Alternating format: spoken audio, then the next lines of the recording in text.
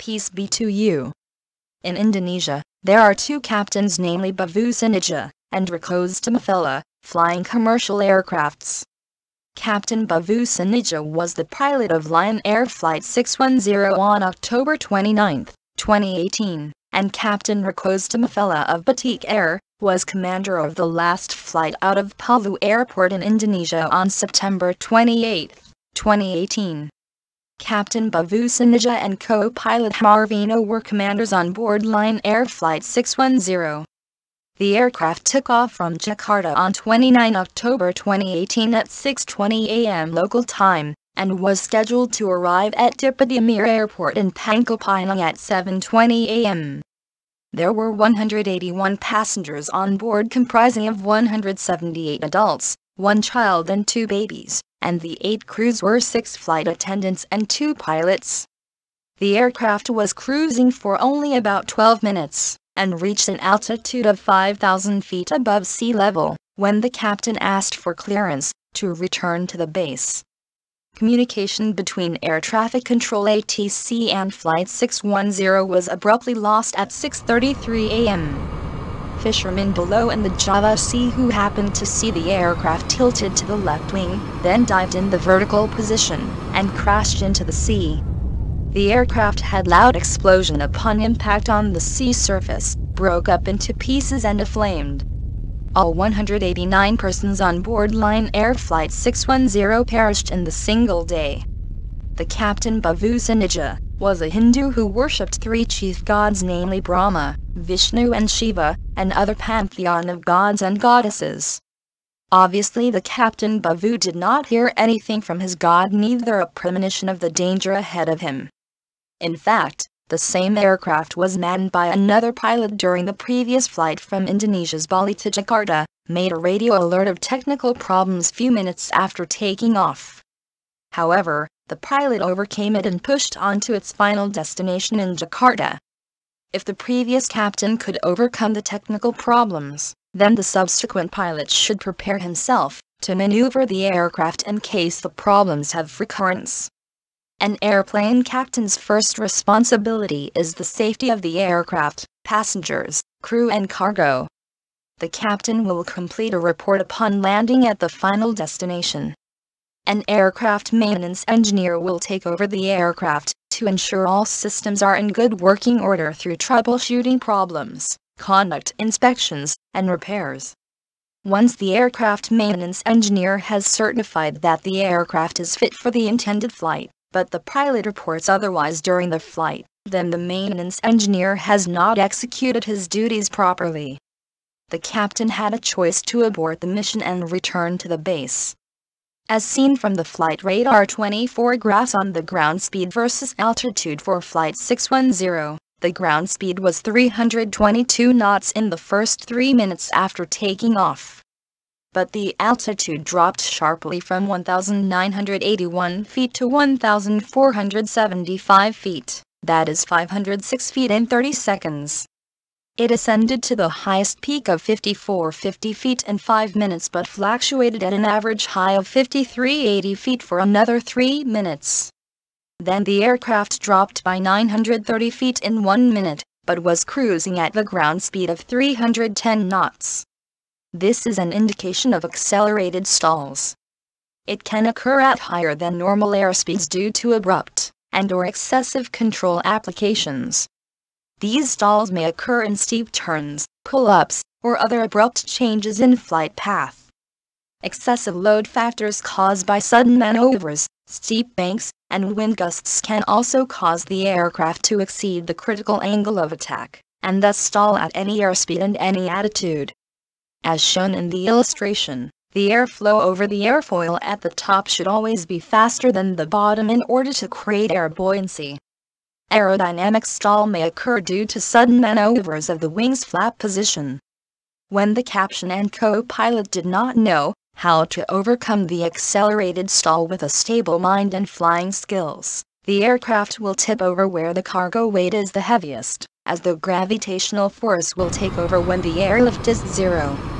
Likewise Muslims have a choice, either to embrace Islam, or rejected after the technical error is detected by apostles and prophets of Yahuwah in the body of Christ. The technical problem with Islam is that there is no God who told Muhammad, I'm Allah who is the God of Abraham. What Allah told Prophet Moses about his name in Quran 20 verse 14, Quran 27 verse 9 and Quran 28 verse 30 are totally irreconcilable with Yahuwah the Almighty, not in name alone but the moral values, as promoted by the former prophets prior to Muhammad.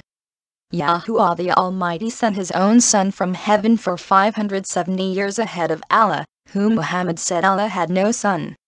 This implies that Allah lied to the Christians for over 570 consecutive years, which is morally unacceptable, when he told an Arab that Jesus was never crucified nor died on the cross. But the name of Muhammad was never prophesied by angel of Yahuwah the Almighty to anyone in the bloodline of Abraham, that he would come after Jesus. From Abraham to King David, it was 14 generations and from Jeconias to Virgin Mary was another 14 generations. The name of David is formed from Hebrew letters Dalet, Fa and Dalet. All Hebrew letters are allocated with numerical values according to ancient tradition beginning with Aleph as 1, Beth as 2, Gimel as 3, Dalet as 4, Hay as 5, Fa as 6 and so on. The numerical values of the Hebrew name David is exactly 4 plus 6 plus 4 equal to 14. It matches with 14 generations from Abraham to David. Another 14 generations from Jeconias to Virgin Mary has definitely turned her into an important person in the genealogy of Lord Jesus Christ. Without Virgin Mary, it will be only 13 generations from Jeconias to Joseph the adoptive father of Lord Jesus Christ. More importantly the name of Jesus was announced by angel of Yahuwah, as Yeshua, which means Yahuwah saves. On the other hand, the Batik air pilot, Captain Tamafella is a Christian and he has saved his 148 passengers on board from premature death, by hearing the voice of Yahuwah the Almighty. He visited a church in Jakarta to Angel BIP, and testified why he speeded up the departure of his flight three minutes ahead of the Palu airport schedule, and averted the disaster. While you may argue that it is a coincidence, Lord Jesus Christ did appear to many Muslims and converted them to follow him. When Lord Jesus Christ had visited his chosen ones in their dreams or visions, and or gave premonition by the Holy Spirit, no one disputed that they were just dreaming or hallucinating.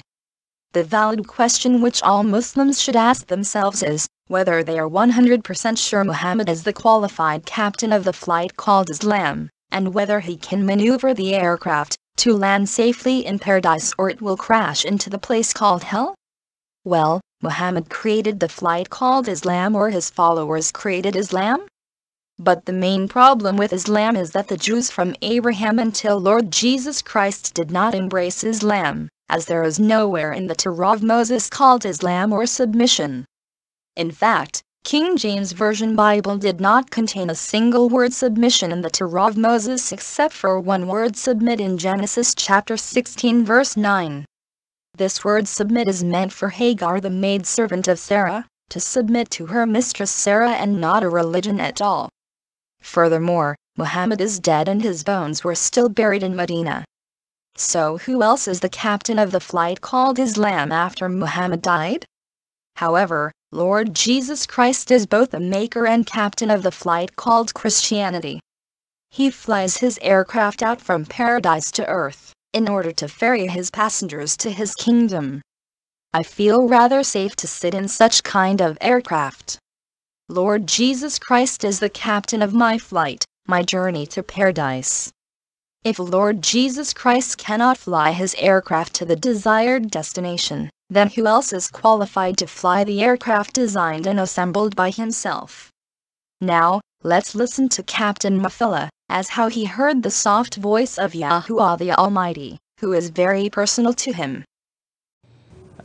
Because of who you are, I give you glory. Because of who you Commercial pilot Ricoseta Mafella a devout Christian, hums worship songs during his flights.